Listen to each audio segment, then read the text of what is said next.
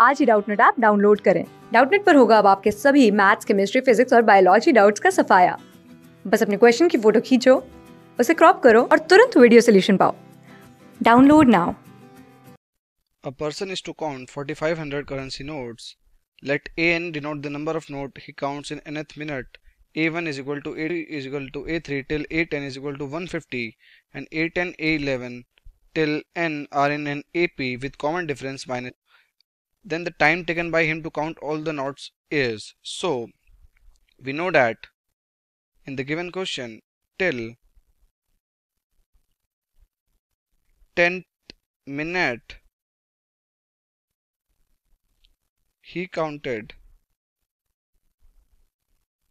1500 notes. So the total were 4500 and till 10th minute he counted 1500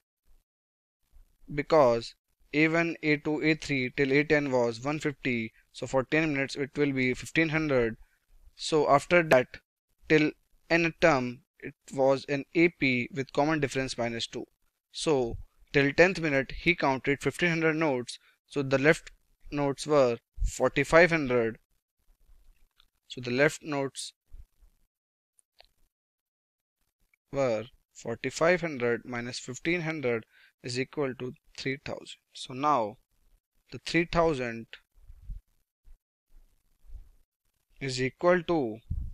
and we didn't know into 2 into as we know that it was with AP with common difference minus 2 so A10 was 150 so A11 was in AP with common difference minus 2 so it will be 152 minus D is equal to 148 so A11 is 148 and plus n minus 1 into D was minus 2 so we can calculate this by n square n square minus 149 n plus 3000 is equal to 0 so n is equal to 125 comma 24 as we cannot take 125 because it is not possible so n is equal to 24 and the total time will be